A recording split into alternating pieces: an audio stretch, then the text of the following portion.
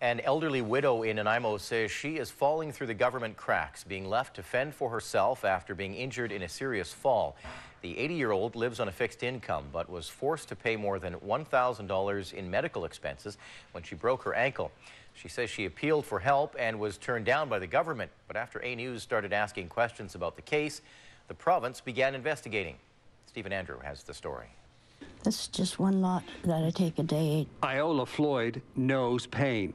She lives with it every day since a car crash in 1975 destroyed most of the muscles on her left side. She has been disabled ever since. And last December, more pain when the 80 year old fell and broke her ankle.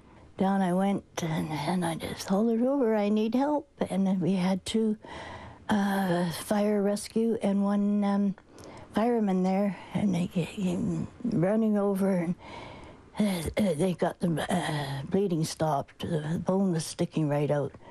Uh, they had to cut my shoe off, but uh, they stayed. They were with me right till the ambulance came.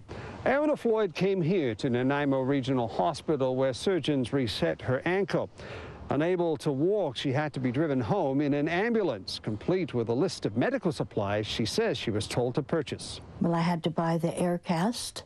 That's $184. I had to buy the heel support. Was $125. Then came shoe inserts and special shoes. A $1,000 bill that Floyd believed the BC government would pay. And they said that uh, they, as far as they knew, I was no longer covered that it had been changed. To pay the bill, Floyd says she went into debt, paying it off slowly over a few months. I stayed home. Uh, I, I, didn't want to use any more gas than I had to. And things. That's once a day. And those pills Floyd takes for pain, she says they're not covered under pharmacare, costing nearly $600 a month, leaving her only with 400 a month for living expenses.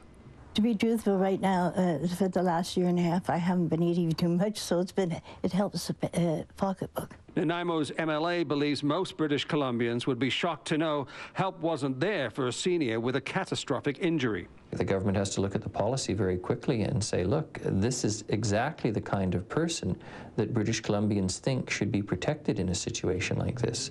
Um, Iola Floyd deserves uh, to be compensated for obvious expenses that she had to pay out of her pocket uh, in order to literally survive. Floyd says she'd be happy if the government only paid half of the expenses. The government tells A News ministry officials will be contacting Iola Floyd and it is looking into the case. In Nanaimo, Stephen Andrew, A News. And an update on this story, Iola Floyd says she has had several phone calls from ministry officials offering help. We'll have an update tomorrow.